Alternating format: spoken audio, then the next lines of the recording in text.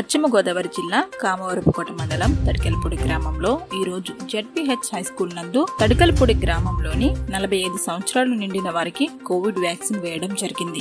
గ్రామంలోని ప్రజలు భారీ సంఖ్యలో వ్యాక్సిన్ వేయించుకోవడం జరిగింది. ఈ కార్యక్రమాన్ని విఆర్ఓ సారథి గ్రామ పంచాయతీ సెక్రటరీ జీవి సత్యనారాయణ గ్రామ సర్పంచ్ కొత్తపల్లి రజని శ్రీను ఉప సర్పంచ్ కొల్లా విష్ణు ఇడుపుగంటి ప్రసాద్ మరియు ఏఎన్ఎంలు నర్సులు పాల్గొనడం జరిగింది.